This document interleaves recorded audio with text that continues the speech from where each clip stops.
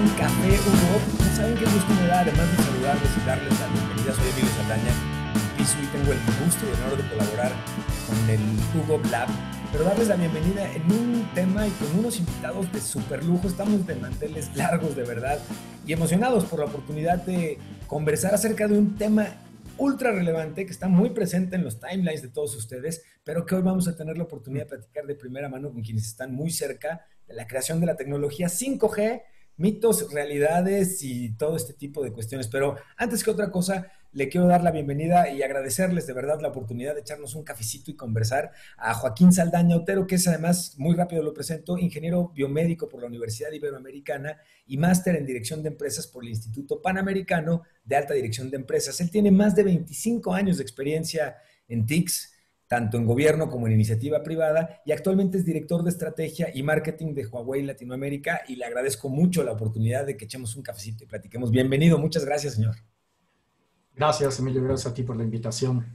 Muchas gracias, Joaquín. Adicionalmente nos acompaña, eh, además, un, un, amigo muy conocido y querido por todos también en el medio tecnológico, Carlos Morales, que es responsable de estrategia de comunicación y relaciones públicas de Huawei Devices México como PR manager de la empresa. Cuenta con formación y amplia experiencia, además de periodismo en tecnología y en negocios. Y le agradecemos muchísimo que nos haga el honor de conversar y compartir con nosotros. Gracias, Carlos. Bienvenido, señor. Todo el honor es mío. Muchas gracias por el tiempo. Gracias por la invitación. Muchas gracias. Y le doy la bienvenida pues a mi socio y cómplice y por supuesto al director de Hugo Blava, Carlos Castañeda. Gracias por la oportunidad y el espacio para que podamos conversar de todo esto, don Carlos cuando escuchamos, escuchamos Huawei, hoy estamos muy familiarizados cada vez más, además, particularmente con productos relacionados, por ejemplo, con telefonía móvil. No es anuncio, porque neta no es anuncio, pero yo aquí tengo mi P30 que no les puedo decir lo feliz que me ha hecho en muchos sentidos. Duración de la pila, calidad de la cámara, muchas cosas. Sin embargo, pocas veces nos imaginamos el tamaño y la dimensión, la variedad de productos que en todo el rubro o el abanico de la tecnología que podemos imaginar, Huawei fabrica. Así que, Joaquín, Carlos, me gustaría que nos ayudaran a entender un poquito más de quién hablamos cuando hablamos de Huawei en realidad, señores. Bienvenidos, muchas gracias. Gracias, gracias, Emilio. Bueno, mira, creo que es interesante empezar por decir que Huawei es una empresa que tiene 30 años en el mercado. Y como bien dices, la mayoría de la gente nos conoce por dispositivos que tendrán en el país probablemente cinco años. Carlos nos va a dar el dato exacto más tarde. Y todo el mundo dirá, bueno, ¿y los otros 25 qué es lo que ha hecho Huawei para llegar a ser una empresa de 123 mil millones de dólares a nivel mundial? Y Huawei tiene básicamente, yo te diría, tres grandes sectores en los que trabaja. Uno que es el corazón de nuestra empresa, que es el negocio de carriers. Nosotros vendemos infraestructura a los operadores de telefonía. Ahí es realmente donde estamos en el corazón de las comunicaciones.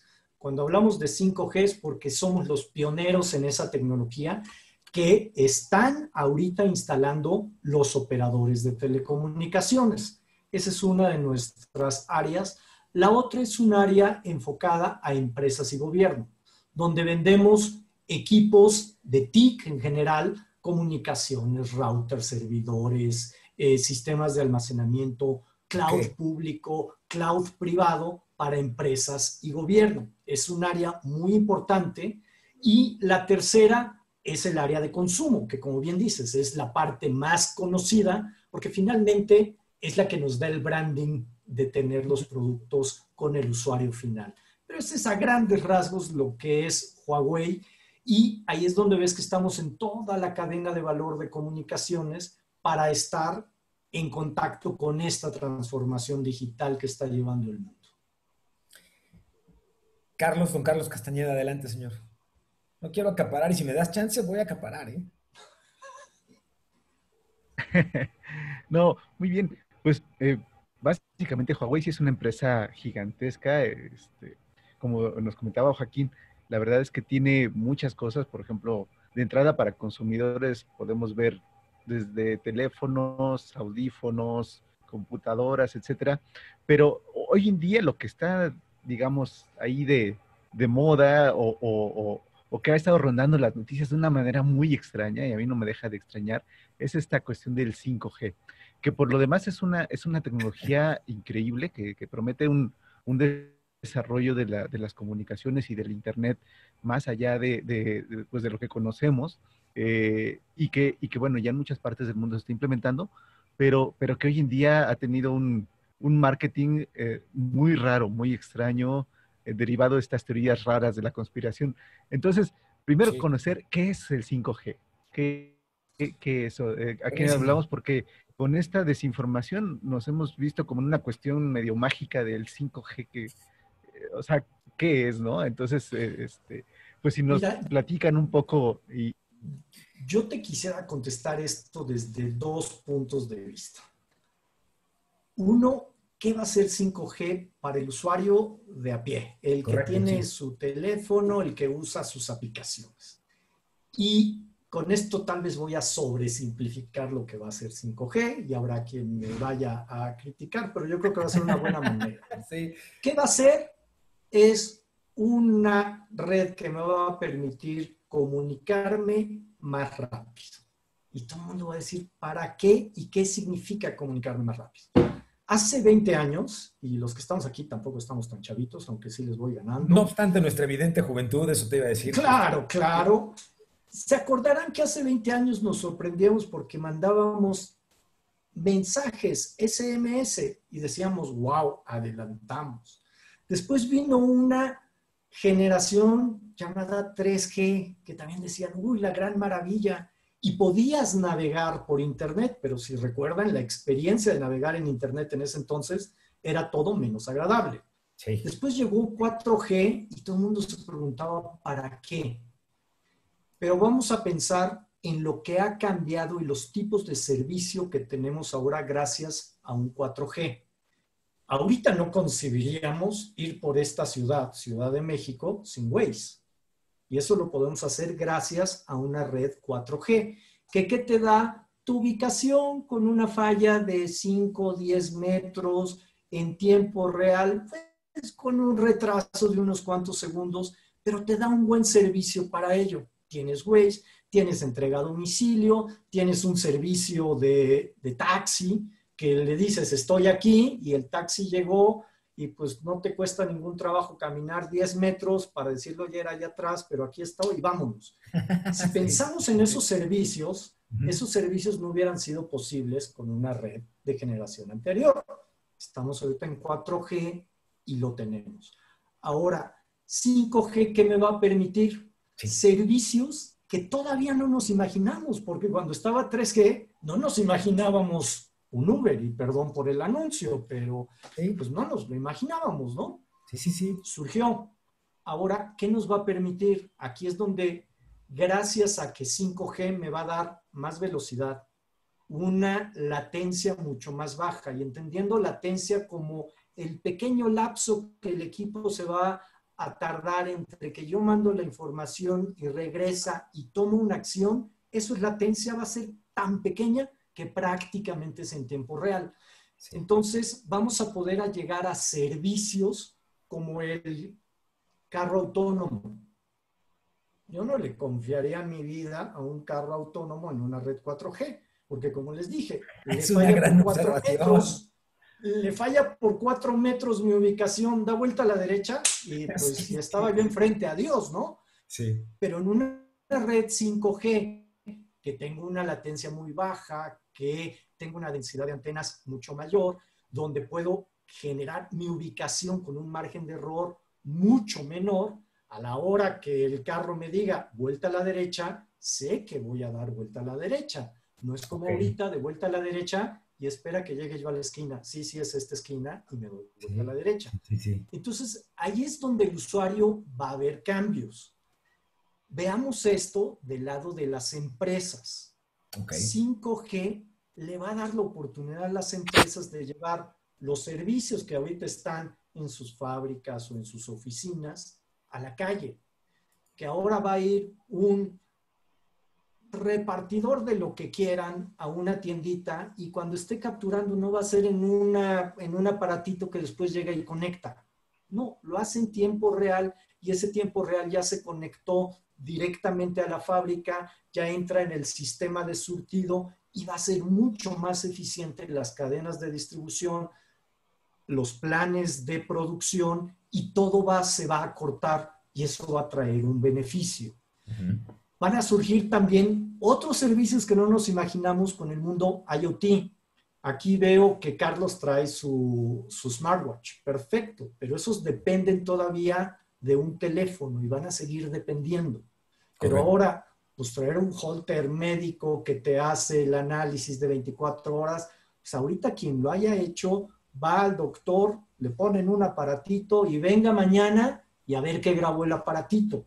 Bueno, ya vamos a poder llegar al, el aparatito está conectado 7 por 24 y me están monitoreando y eso va a traer una transformación también directa en beneficio a las personas. Entonces, hay muchos cambios que nos va a permitir este 5G. Yo diría que ese es del lado de los usuarios. ¿Qué implica del lado de los operadores? Aquí es donde vienen las teorías, que si es... sí, sí, sí, creo, creo que hasta cuidado con las rodillas, ¿no? Este, que ya suena... Este, no, sé a quién se le ocurrió, pero está creativo el asunto, ¿no? Oye, que transmita eh, COVID-19 una antena 5G, a mí me no, parece aparte, no. aparte, pero bueno, o sea, la imaginación da para mucho, ¿no? Sí. Casi siempre Entonces, hemos escuchado, esto es importante, porque casi siempre que hemos escuchado dos cosas que creo que suman un poco y comienzo a entender con lo que nos comentan, que suman un poquito al por qué puede generar este tipo de paranoia. La primera es que en términos de tecnología, los usuarios en general nos han acostumbrado desde los procesadores de Intel X86, nos mal acostumbraron a que lo incremental significaba tipo ley de Moore directamente, ¿no? 386, 486 y lo mismo, 2G, 3G, 4G. Y si bien no es equivocado eh, en cierto sentido, no hay una relación tan directa, pero ahorita que explicabas, porque me respondiste varias preguntas, Joaquín, y cosa que te agradezco, te quería preguntar, ¿por qué escuchamos en esta ocasión tan relacionado 5G con Internet de las Cosas, con Big Data, pero, pero con lo que nos explicas me queda claro entonces justamente por qué. Y, y, tendrá entonces que ver esto, el que cuando escuchamos mucho más megabytes, mucho más gigabytes, mucho más potencia, mucho más velocidad, pareciera que nos imaginamos un símil en términos de la energía que van a radiar estas torres como mucho mayor y entonces me parece que llegamos nuevamente a los simpáticos casquitos de papel de estaño en la cabeza, ¿no? Carlos, ¿tú qué opinas? ¿Qué opinión te merece a ti que estás tan cerca, por ejemplo, de los productos de consumo de Huawei, escuchar todo este tipo de, pues ¿cómo les llamarías tú, señor? Bueno, creo que sin duda son teorías de la conspiración y es un hecho relativamente esperado, pues, cuando llegan nuevas tecnologías, normalmente el público trata de encontrar explicaciones mucho más simples que la explicación tecnológica o científica a los fenómenos que les rodean. Y nunca va a faltar el... La pati Navidad que no ayuda, señor. Te lo digo yo, pues. El, integrante del, el integrante del público que va a decir, bruja, quémenla. Entonces, alguien más le va a apoyar y así se vienen las, se van creando estas bolas de nieve alrededor de distintos conceptos. en este caso nos tocó a nosotros con la red 5G. Sí. Sin duda, eh, digo, el interés de las personas es genuino. Estamos intentando también del lado de la compañía poder explicar cuáles son las, eh, las implicaciones que pueden existir en torno de las nuevas tecnologías tranquilizarlos diciéndoles que no hay ninguna evidencia científica que respalde ninguna de estas afirmaciones. Incluso la Organización Mundial de la Salud tiene en su página de internet una lista de recomendaciones en las que explica qué es el 5G. Eh, es decir, y es un tema que se volvió tan relevante como para que las autoridades sanitarias globales lo, lo puntualicen, ¿no? Y empiecen a, a explicar un poco más a la gente qué y qué, qué es y por qué no deberían de preocuparse. Entonces, es sin duda un fenómeno muy interesante que ha dado para, para pasarlo bien durante esta cuarentena. Sin embargo, pues también es un objeto de, interés por parte de la compañía para poder eh, encontrar mecanismos de comunicación más eficientes que nos permitan llegar al usuario final y explicarle cuáles son las razones por las cuales no representan ningún tipo de riesgo a la salud, eh, cualquiera de los avances tecnológicos que implementamos. El usuario para nosotros siempre va a ser el usuario final, eh, es para nosotros el foco principal. Correcto. Entonces, de ninguna manera estaríamos poniendo su salud en riesgo, ¿no? Claro. Correcto. Carlos, ibas a comentar y sobre... Ah, adelante, adelante, Joaquín. Adelante, Joaquín. sobre el tema de, de la potencia y vamos a estar en la radiación y demás, pensemos que se están reutilizando en muchos eh, casos frecuencias que ya se utilizan, frecuencias a las que hemos estado expuestos desde hace muchísimo tiempo y a potencias mucho mayores. Por ejemplo, la televisión, la televisión hasta hace poco recordarán usaba, me voy a ir un tecnicismo, la banda de 800. Correcto, sí. La banda de 800 hoy en día se utiliza para servicios de telefonía celular. ¿Qué irradia más potencia? ¿La radiobase que está y que me da servicio a dos cuadras o la antena que está en un cerro e irradia a toda una ciudad? Nada más las diferencias de potencia son abismales, porque un aparato de estos no tiene alta potencia, es baja potencia. Y uno de los retos que tenemos tanto las empresas que hacemos tecnología como los operadores, es dónde se van acomodando y con qué tecnología para que dé el mayor alcance con la menor potencia posible. Entonces, es todo un tema que hay, que hay que pensar. Es las mismas frecuencias a las que estamos expuestos, probablemente con menos potencia, pero la evidencia es que no ha pasado nada. Ahora, habrá frecuencias nuevas, porque bueno, ya 5G utiliza tres segmentos de frecuencias y las altas todavía no están del todo definidas, pero tampoco hay una evidencia de que vaya a haber problema. Y esas frecuencias tienen tan pequeño rango que su uso va a ser muy específico. Entonces, no hay temor. Lo más importante, como decía Carlos, no hay una evidencia médica, científica para la cual nos tengamos que preocupar. Eh, lo, que, lo que quería comentar es que me recuerda mucho que al principio, y, quedan remanentes por ahí de, esta, de estas ideas, que al principio de la telefonía celular se hablaba mucho del cáncer de cerebro por tener el teléfono este, aquí pegado, ¿no? Lo cual, como bien dice Carlos y como dice Joaquín, se ha desmentido en innumerables eh, eh, artículos científicos, médicos, pero que la gente pues sigue por ahí eh, algunos este, comunicadores, algunos, algunas personas con cierto peso en opinión pública, pues este, han tenido eh, culpa también de difundir este tipo de cuestiones. Eh, pero, pero bien decía Joaquín, la cuestión de la, de la potencia de las, de las señales.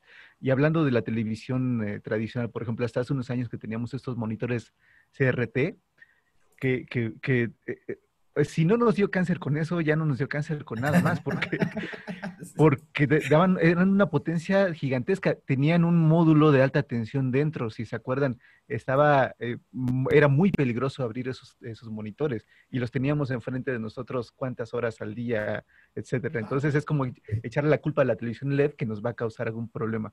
Pero eh, precisamente eh, eh, todos estos cambios de, en, materia tecnológica, en materia de protocolos de comunicación, pues no se hacen así nada más.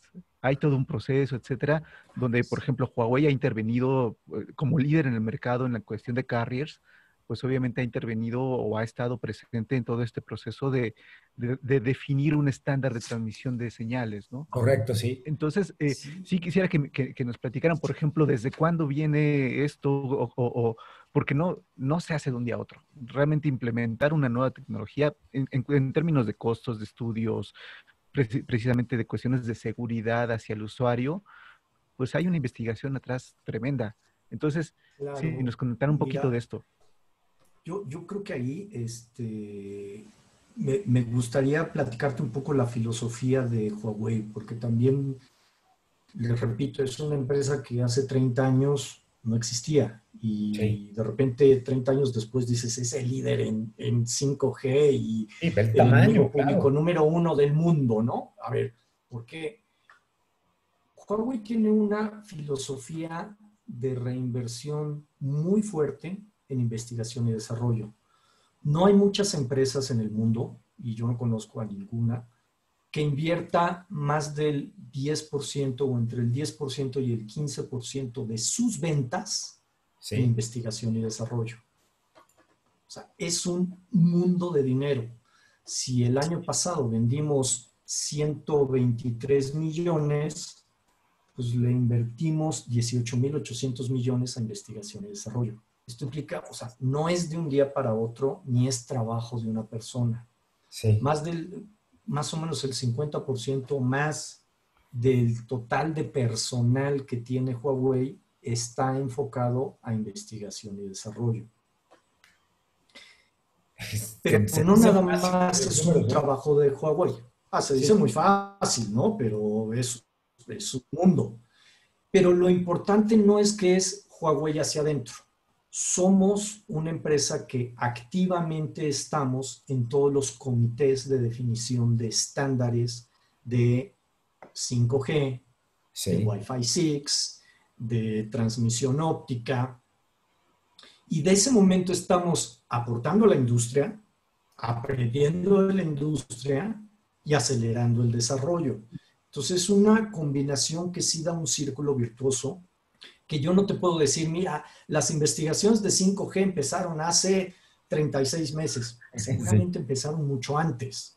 O sea, de repente oye uno hablar a la gente de Huawei y dice, es que estamos nosotros metidos ahorita en lo que va a ser la próxima generación, no de cómputo cuántico, sino de la siguiente ola.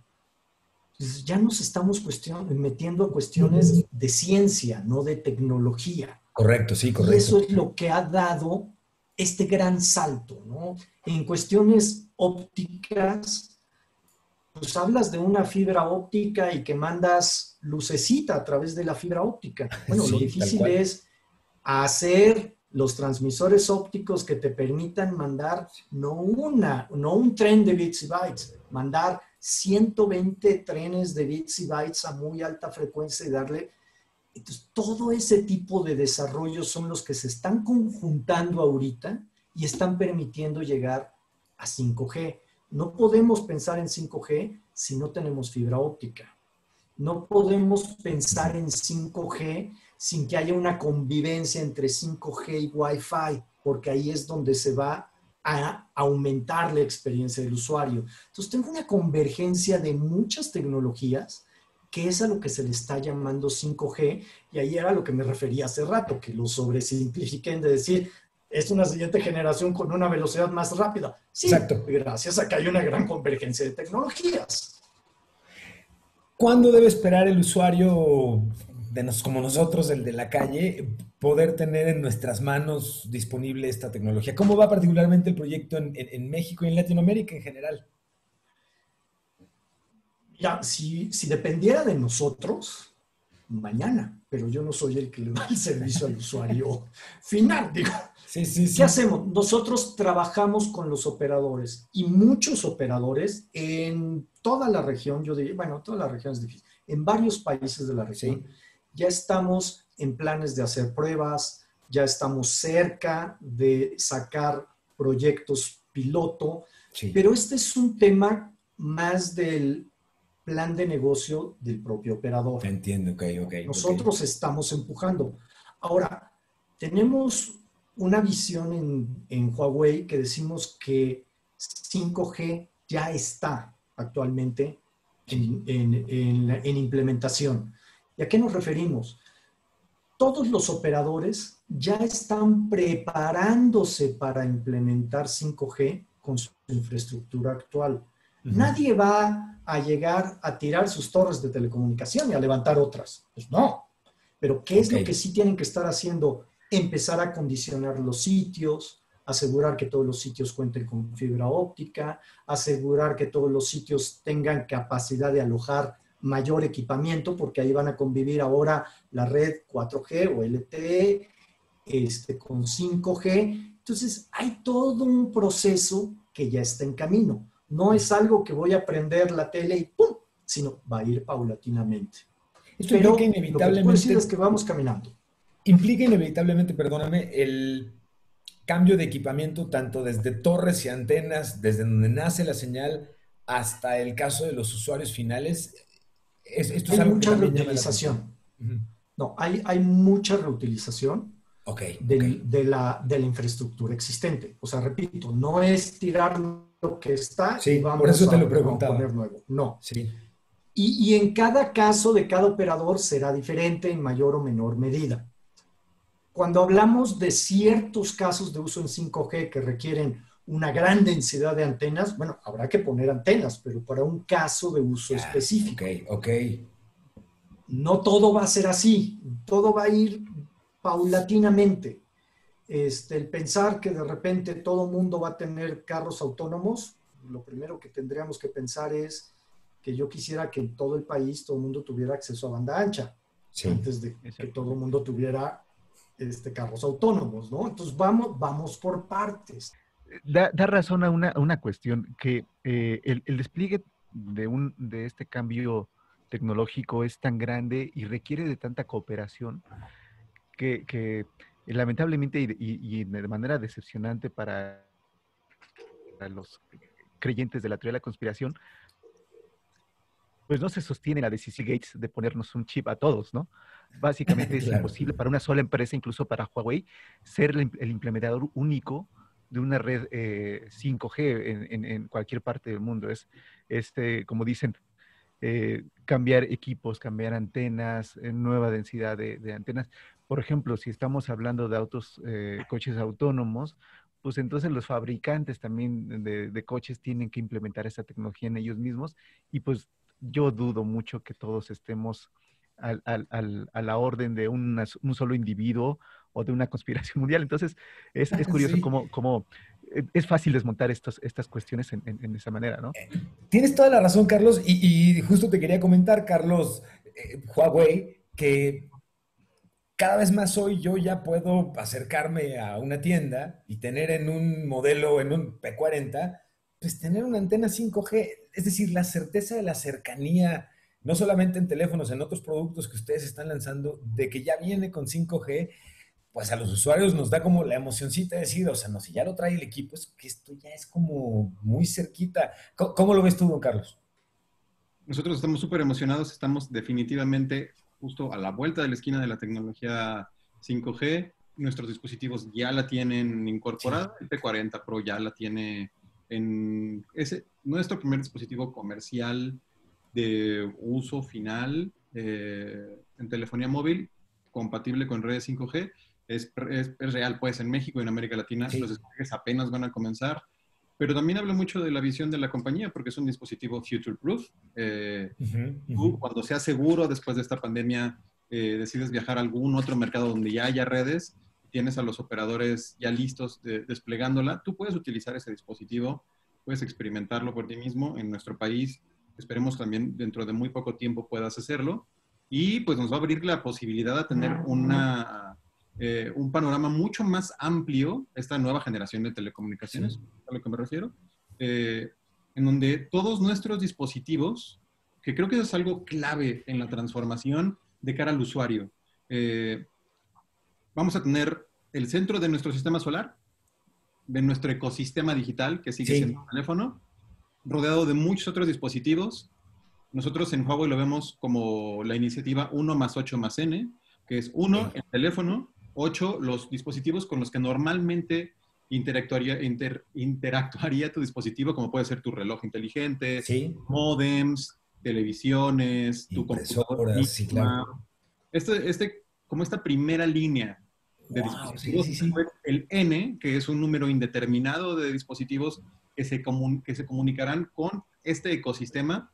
Y creo que aquí, y es lo que es el punto al que quería llegar, todos estos funcionarán no solamente como dispositivos interconectados, sino como un solo gran dispositivo con muchas capacidades extendidas, ¿no? Entonces, eh, eso es algo que yo sé que por el momento es quizá complicado de dimensionar, dado que no lo hemos en marcha, pero una vez que empezamos a ver estos despliegues y como Joaquín decía, empecemos a ver cómo funcionan los autos conectados, pero cómo al mismo tiempo distintos electrodomésticos en casa van a poder tener conexión a Internet y van a poder intercambiar información y al mismo tiempo darnos eh, información más relevante basándose en el contexto eh, espacial o temporal en el que nos encontremos, va a ser una revolución absoluta y eso es algo que a nosotros nos emociona muchísimo. Es que se antoja como un exocerebro digital compartimentado, no sé, es espectacular la forma en la que lo acabas de, describir ahorita y, me llevas muy rápidamente, abusando ya la oportunidad de tener el gustazo de platicar con ustedes. Quería preguntarte, Tú hablas justamente ahorita, y nos lo comentaba Joaquín, la importancia de la colaboración y la integración de distintas tecnologías que al final del día conforman lo que vamos a entender como 5G y todo lo que implica. Tú nos hablas ahorita incluso de la relevancia que tiene para el ecosistema de sus productos, no solamente 5G como tal, sino la integración que hacen. Y aquí rápidamente a mí me llevas a pensar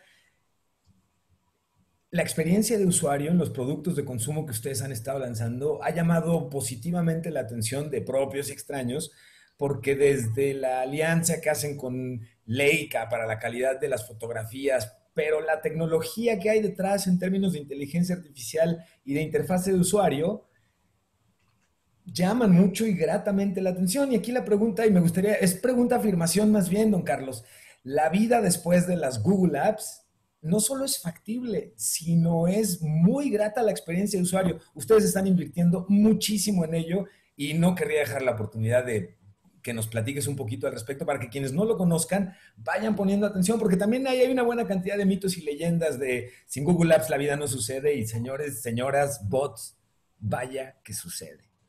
Sí, pues justo desde mayo del año pasado, de 2019, tenemos una imposición de no poder utilizar servicios de Google en nuestros equipos, lo cual evidentemente pues, no nos ha detenido para poder ofrecer eh, más teléfonos, más tabletas, más y accesorios eh, para nuestros usuarios finales.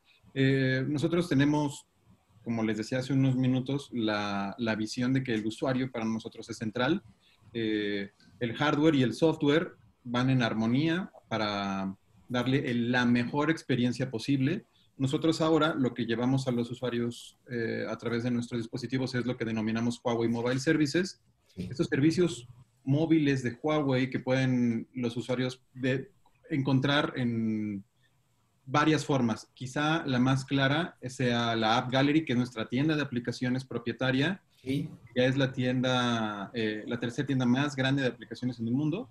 Entonces, ese es como uno de los ejemplos más claros de cara al consumidor que pueden encontrar, pero también para desarrolladores estamos haciendo muchísimas cosas que van a hacer la vida más fácil no solo para los usuarios, sino también para los desarrolladores. Mencionabas hace unos minutos, por ejemplo, inteligencia artificial, por poner un ejemplo rápido. Nuestros equipos son los únicos con inteligencia artificial o hardware dedicado para inteligencia artificial on device. Normalmente el resto de, de las compañías fabricantes de equipos móviles hacen uso de inteligencia artificial en la nube, nosotros podemos ofrecerlo directamente desde el dispositivo porque tenemos hardware dedicado para eso y los desarrolladores ya pueden utilizar esas herramientas de creación de aplicaciones y de creación de nuevas experiencias para los usuarios a través del hardware que les ofrecemos. Hace apenas unas semanas ustedes lanzaron un challenge. El tiempo comienza a, causar estragos con, con esta oportunidad de conversar con ustedes, pero me permite además comprometerlos así, en confianza como estamos, a que nuevamente tuviéramos la oportunidad de platicar con ustedes y con nuestra audiencia, particularmente orientados al sector gobierno, que hay mucha curiosidad y mucha intención de conocer todas estas tecnologías. Antes que otra cosa, agradecerles la oportunidad de conversar, pero quisiera, Carlos Castañeda, si tienes alguna pregunta para poder acercarnos al cierre. Ya yo te advertí que iba a gandallar y sí, disculpa. No, muy bien. No, pues eh, agradecerles a eh, Huawei como una empresa líder en el, en el, ramo, pues que tengamos esta información de primera mano. Lamentablemente no logramos que nos dijeran eh, qué hace con el líquido de rodilla, pero fuera de eso, yo creo que ¿A dónde se lo están muy buena información. ¿A dónde se lo están llevando? No, muy buena información. La verdad es que hay, hay muchos mitos y que solamente se combaten con información seria de primera mano y sobre todo eh, certera, como digo, eh, de, una empresa como, como Huawei en este, en este caso. Muchas gracias y pues bienvenidos las veces que, necesitemos conversar. Sí, por favor, de verdad, déjenme pues, darles las gracias a Joaquín. Joaquín Saldaña Otero, director de estrategia y marketing de Huawei Latinoamérica. Gracias por acompañarnos, señor. Un mensaje que quieras compartir con la audiencia para el cierre, señor. Este, rápidamente, creo que fui omiso en decirte que 5G hablamos de una gran tecnología, dispositivos, pero para tener un desarrollo de conectividad como país, y esto es interesante para tus eh, escuchas de gobierno y de empresas, tenemos que pensar en otras tecnologías que van de la mano. Cloud, IoT, inteligencia artificial, y eso es lo que va a crear ese gran ecosistema con el que se desarrollan las empresas y van a crear los casos de uso que van a permitir a su vez que 5G se desarrolle más rápido. Hay que crear ese círculo virtuoso y pues muchísimas gracias por la invitación. Cuando me inviten estaré con ustedes para platicar y esto y algunos otros temas. Gracias.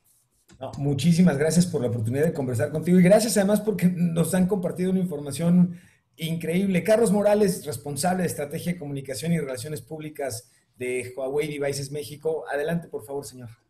No, pues agradecer la invitación y eh, dejar la puerta abierta, por favor, si nos permiten, para poder eh, conversar de nuevo con ustedes sobre estos y cualquier otro tema que quieran ustedes. Pues muchísimas gracias, don Carlos Castañeda. Señor, adelante con su cierre, por favor. Yo agradezco mucho la oportunidad de su atención. Carlos, por favor. Muy bien, muchas gracias. Pues ya saben a todos los que estos temas los tratamos continuamente, eh, invitarlos a que se suscriban a los medios de comunicación, al canal precisamente de videos, donde estamos poniendo toda esta información. Y bueno, pues eh, cualquier pregunta, cualquier duda, pues háganla llegar y seguramente estaremos platicando con los expertos, con las empresas que están en el filo de la implementación tecnológica, pues para ver todo esto. Muchas gracias y pues hasta la próxima, donde, donde les corresponda vernos. Exactamente, de la Nos vemos hasta la próxima. Muchas gracias.